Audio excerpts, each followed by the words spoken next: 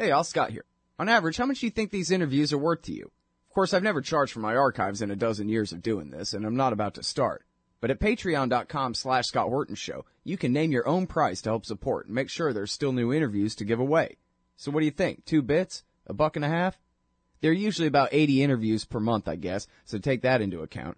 You can also cap the amount you'd be willing to spend in case things get out of hand around here. That's patreon.com slash Scott Horton Show. And thanks, y'all. All right, you guys, welcome back. I'm Scott Horton. It's my show, The Scott Horton Show. Our first guest is Jeff Tucker. He, of course, is the, uh, I don't know, the Chief Liberty Officer. That's what it's called.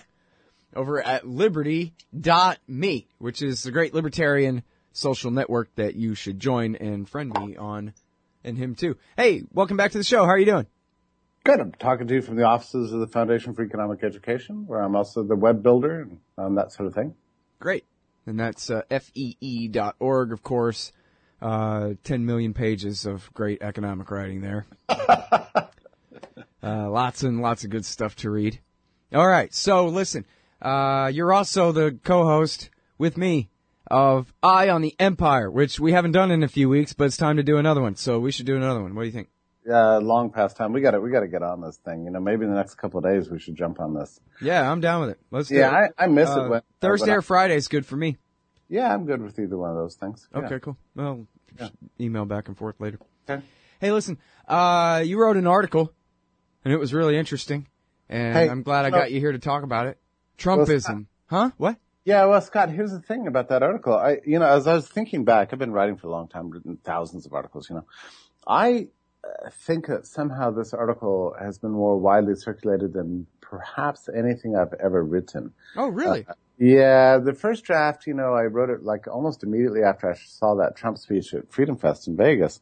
And it went on Liberty.me. I did a, a, a version of it for free. Then it was, it was picked up by Newsweek and that's when, uh, it went viral. Um, and, you know, I mean, like I was inundated with, with, uh, with, uh, you know, interview requests and my Twitter account. so. Newsweek ran the whole piece? Yeah, Newsweek ran the whole piece. Wow. Yeah. So yeah, it was kind of a, kind of an epic thing me. They're really afraid of him, aren't they? That they would run Jeff Tucker in Newsweek. That's really something. Hey, n- that's not a knock against you. That's praise for you. You're way too good for them to ever consider running your thoughts in their paper, but they're just anything. You know, I saw Karl Rove up there spitting and sputtering as though Trump is not just the ultimate, you know, kind of summation of Rovian republicanism in this country. I mean, he owns 21st century conservatism is his project, and this is what it's wrought. And to see him and all the National Review and Lindsey Graham and everybody just spitting and sputtering and denouncing him, it's uh, it's a riot. I gotta admit, I just love it because I think regular people, hopefully regular people, not the ones who go for it and you know who really like him, but everybody else, I think that they can tell that the rest of these Republicans are exactly like him. He just is rude. You know what I mean? He just Yeah. says what they all want to say, but when it comes down to who to tax and who to kill and all that kind of stuff, they're pretty much in line. Who to hate, Yeah, pretty much. Yeah, I think you make a good point. I mean, it's, it's pretty much in line. I, I wouldn't say exactly the same because I mean, Trump kind of ramps it up in a, in a strange way. Uh, yeah, he's like a cartoon version of their, of their worst sort of darkest dreams. Right, yeah. You know, uh, He's their argument ad absurdum. Yeah, yeah.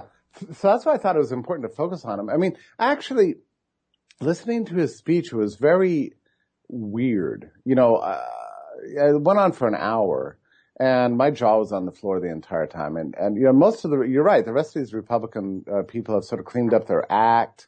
You know, they're they're they're sort of uh, trying to appeal to the media. They're trying to get you know get past the uh, you know, get through this election thing, you know, by, by, you know, staying, staying safe and that sort of thing. Trump doesn't care, right? So he, yeah, you're right. He just expresses what they sort of believe in their He's their thoughts. id, is what he is, right?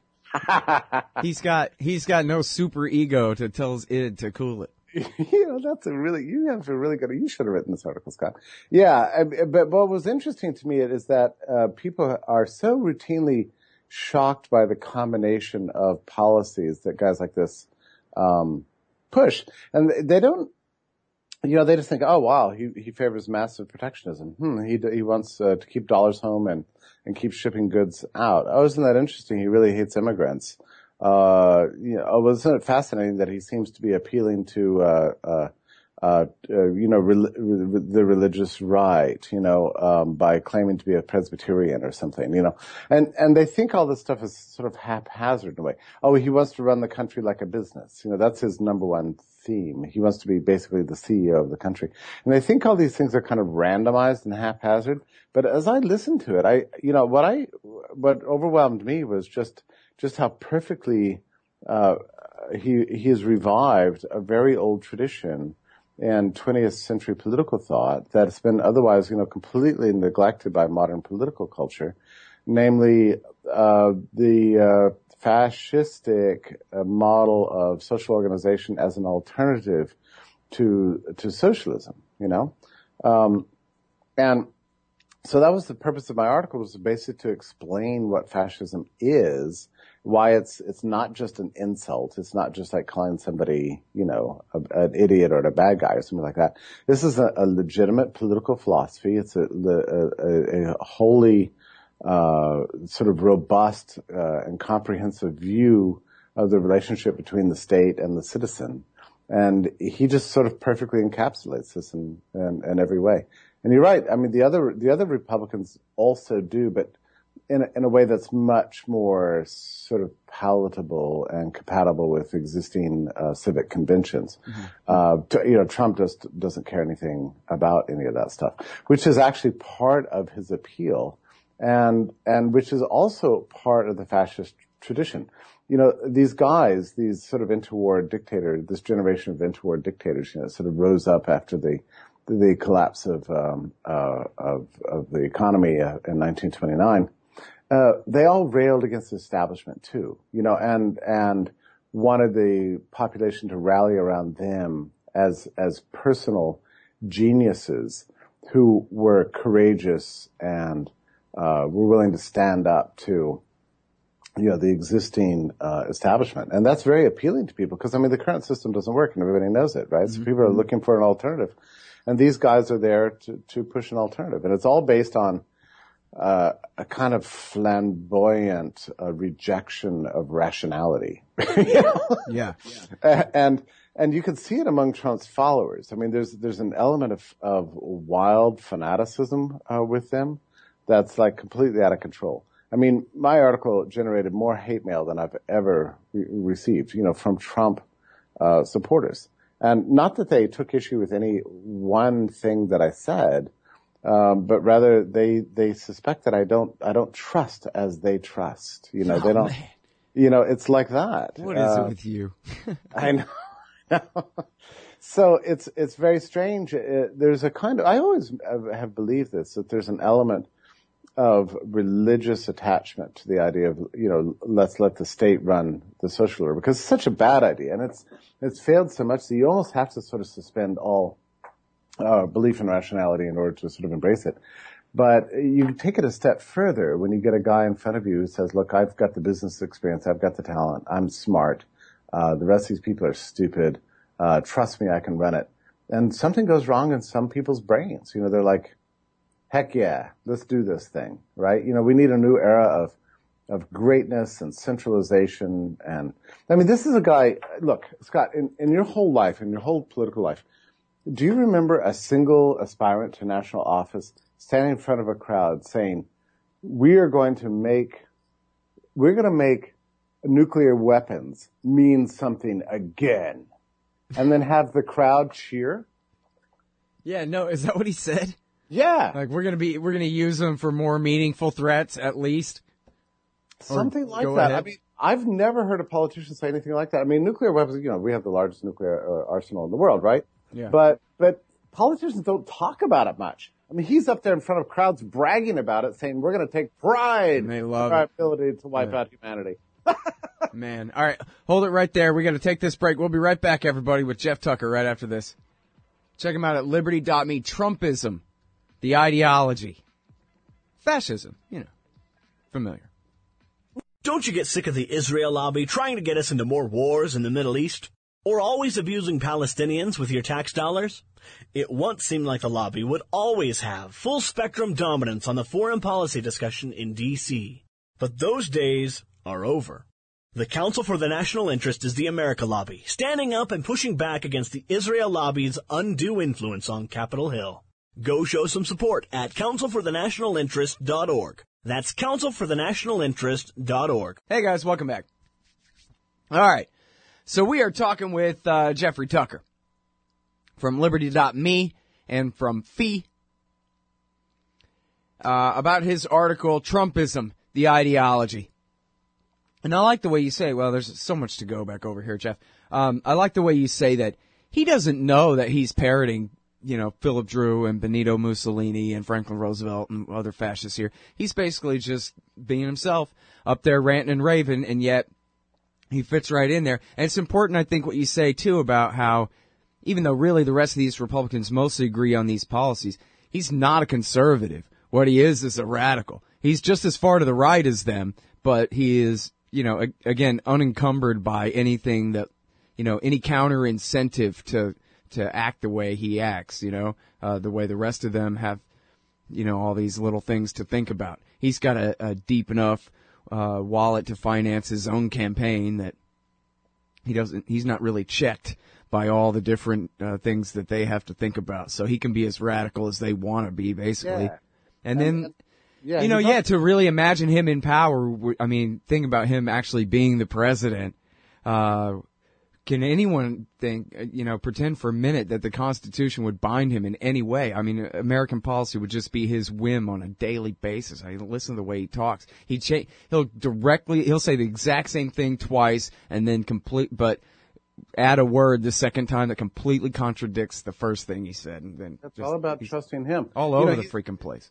He he said uh, too. I mean, just a few days ago, he said something. I heard him say something like, uh, "If when he's president and he wants that Ford plant to to move from China back to the U.S., he said, believe me, they're going to do it." So you know, imagine a, a, a president who thinks that he can just order around U.S. companies and where they're going to locate their business. I mean, that's that's an astonishing, that's a totalitarian level of of power. You know, completely unchecked. I mean, this is you know completely delusional. But I'm telling you, there's a there's a segment of the voters who go for this crap, and you can see it right now uh, in the polls that are coming out. He is not shrinking; he is rising. His lead in the Republican uh, uh, field here is is spreading wider and wider and wider. He's now got 24% support, and he's and second is Scott Walker with only 13%, and Jeb Bush with with 12, and then it gets lower um, after that. And Rand Paul slipped uh, completely five percentage points. So what's interesting is that the more the Republican establishment attacks this guy, uh, the more people like him. And and and he, even his criticism of John McCain, you know, that was an interesting case because he stood up and said, "This guy's no war hero. He set out the war," you know, and it, you know, an outrageous comment at some level. On the other hand. What the GOP establishment doesn't understand is that everybody is sick and tired of stupid McCain. All right. Yeah, so, yeah. you know, for one guy to finally come out and say, you know, to call this guy's bluff and say, I don't, I don't really give a crap about his, his, his so-called yeah. heroism. Doesn't sound like heroism. That was a delight to many people. And I, there was a brilliant article in the New York Times a couple of days ago about his, um, his, his speaking in Iowa where you know, some some Republican blowhard got up and and and denounced Trump for for dissing uh, McCain, and there was only light clapping, you know, just kind of eh, whatever.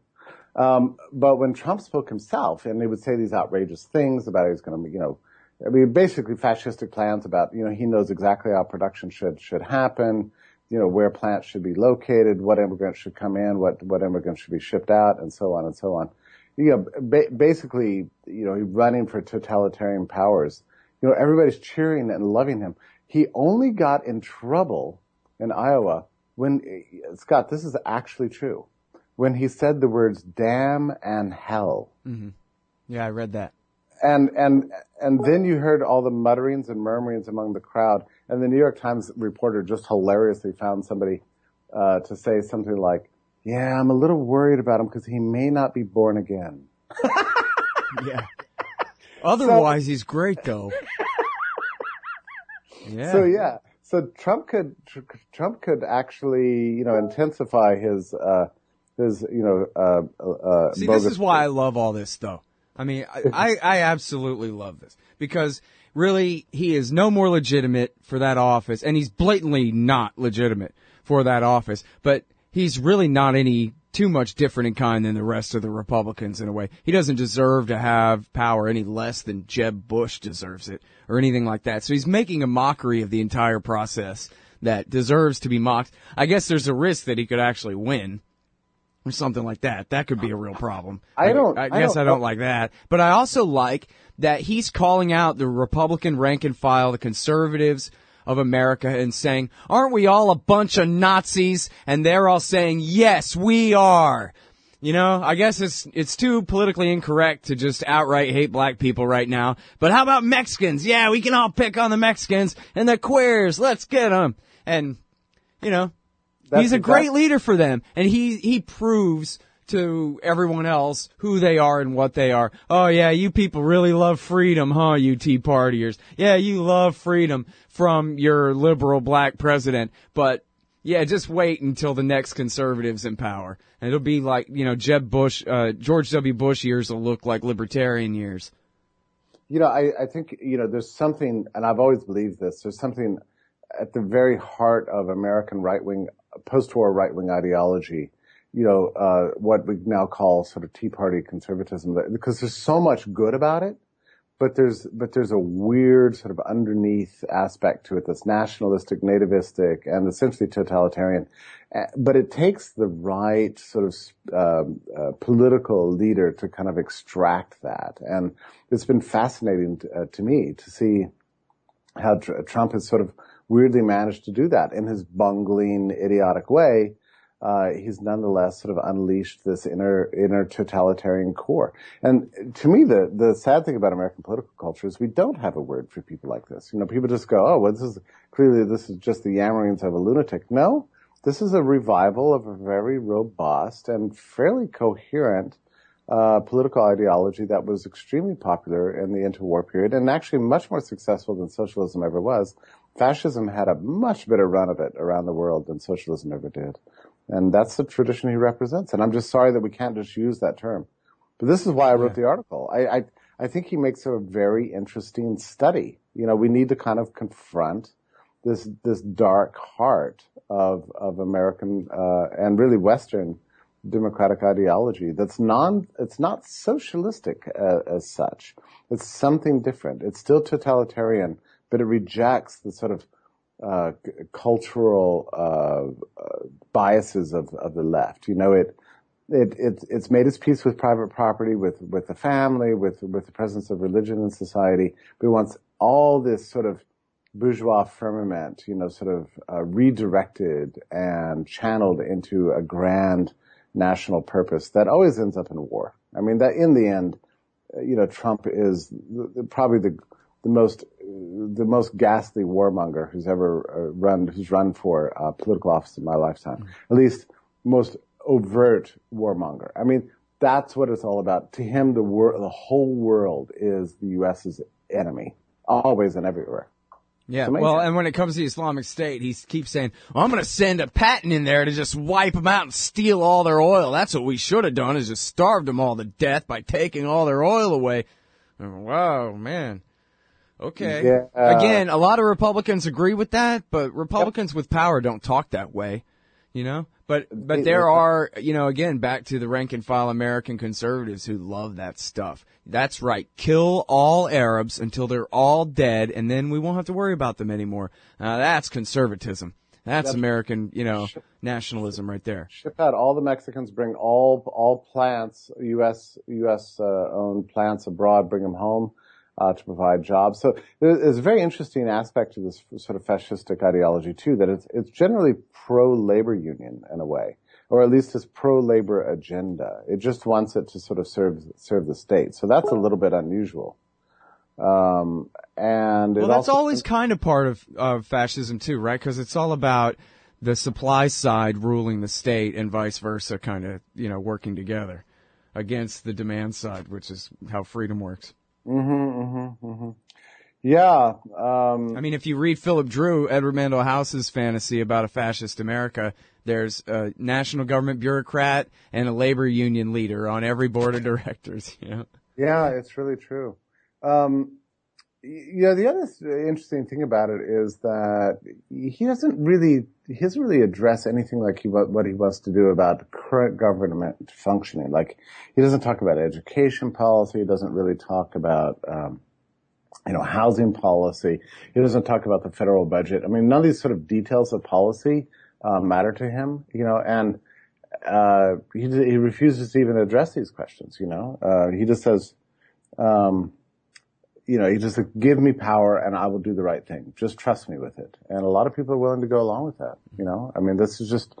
I mean, ultimately, in the end, Scott, we face a choice between freedom and control. You know, and um, I like Trump to this extent. I mean, he's giving us a chance to really sort of discuss this this issue. You know, which which way do we want to go forward? To a, a world of, of of of private property, individual liberty, uh, you know, decentralized decision making, and uh, you know, uh, d- you know, distributed networks and technology and that sort of thing, or do we really want to return to to an, an authoritarian, centralized uh, total state, and he's he's forcing people to confront this issue. Yeah. and I'm it's good for the GOP essentially. Uh, okay, let's talk about whether or not he actually stands a chance. I mean, I, you raised that question, I think it's a really interesting question. I just you know, politics has surprised me enough in my lifetime that I don't think that I'm prepared to say, oh, this is a temporary blip, you know, it's just going to go away. I would like that to be true in a way. Although I, you know, I'm not happy with any of the alternatives either, you know. But uh, I don't know what what's your feeling about that? I mean, is is is the Republican establishment so tightly in control of our electoral system and the nomination process that there's no chance that he could ever win it? I mean, Well, what- no, I mean, you got to give him higher numbers than Ron or something like that just because, one, there are a lot more Jacksonian fascists in America than there are libertarians. And two, he's got billions of dollars of liquid cash, at least, you know, a couple that he Well, can spend on this. And, you know, Hillary is going to have the biggest campaign ever, ever at one billion and he can top that. So, and part of his appeal, and, and I don't think you can threaten him, right? I don't think he Yeah. feels like he has anything to lose. He's not afraid of anything. And people So- love that. People love that. You know, the the biggest applause line that he had in Vegas was when he said that he said, "You know what? The whole political system is a racket. Everybody who's giving these campaign contributions to all these people, they're they're all they're asking for is a quid pro quo. The minute they get in office, the phone's going to be ringing off the hook. Now, now do my bidding." He said there's there's graft and corruption behind every dollar that's contributed to every candidate in this country, and people cheered because they, you know, I mean that's that's that's an actual truth. Of course, yeah. And, and it's awesome to consider the implications of that. Right. And and the, he went on to say, "Look, I've got all the money I need. I don't need anybody's money. I don't owe anybody anything." And boy, you could just feel it in the room. People are like, "Yeah, Yeah, that's, what- the story of Philip Dru too, right there, where look at how corrupt the political system is. The senators and the bankers all in on it together to bail each other out and protect themselves and all this corporate corruption. All we need is a man on a white horse to come in and clean house. Somebody who doesn't owe anybody anything, because he, has the the loyal appreciation of his countrymen behind him. yeah, that's that's the whole fascistic appeal. And I tell you what, it sold really well uh, at the crowd I was in. And you know, at the same, I heard him in Vegas Uh, earlier that day. There were five thousand people gathered in Phoenix, Arizona, uh, to rally behind his anti-immigrant uh, message. I mean, this guy is really uh, kicking up a storm out there. You know, it's just it's it's awesome. And the more the GOP establishment attacks him, uh, the the more he seems to be growing. You know, maybe this is all a temporary blip, but I, I don't know. I mean, it's it's pretty awesome to to watch it all happening. Well, yeah, and I mean his competition is pretty damn mediocre too. So we'll see how they do. I guess I don't know. And you know, there's an important lesson here, also as you point out in the article about how just because someone's a successful businessman doesn't make them a libertarian, doesn't make them doesn't prove that they even understand economics at all. And I guess his multiple corporate bankruptcies might tend to go along with showing that. The guy's always building a skyscraper right when the bubble's about to pop and this kind of thing. And it also goes to show about how libertarians don't necessarily like businessmen at all. We just like the market. That's different. And Yeah. liberals really get that wrong. Like our job is simply to cover for corporate power or something like that. They don't really get that. It's about individual freedom. That's what it's about. Yeah, and big business also hates competition. That's what people don't understand. I mean, you know, c- competition is is is fine when you're the underdog. You know, it gives you a chance to to get out there and, and make your mark. But once you're at the level of Trump, competition is your enemy. That's the thing that they consider inefficient. It's terrible. It's wasting resources. It's knocking down the good guys and putting the bad guys in charge. You know, so you know, in fascist ideology, the enemy is uh, exactly market competition. And that's what he's targeted. That's what he thinks is the, the great problem in America and the world is there's just too much market competition. We need an iron hand at the top to decide who the winners are and, and keep them in place. And it's got to be smart people with lots of resources and, and, and unlimited power. And then we can make the world a better place. Oh man. All right. Thanks very much for coming back on the show. Sure appreciate it, Jeff. Mm, it's good to talk to you, Scott. Let's talk soon. Okay, definitely right. will do. All right, y'all. That's a great Jeff Tucker. He's at the Foundation for Economic Education and Liberty.me. Hey, Al Scott Horton here to tell you about this great new book by Michael Swanson, The War State. In The War State, Swanson examines how Presidents Truman, Eisenhower, and Kennedy both expanded and fought to limit the rise of the new national security state after World War II. If this nation is ever to live up to its creed of liberty and prosperity for everyone, we are going to have to abolish the empire. Know your enemy. Get The War State by Michael Swanson. It's available at your local bookstore or at Amazon.com in Kindle or in paperback. Just click the book in the right margin at scotthorton.org or thewarstate.com.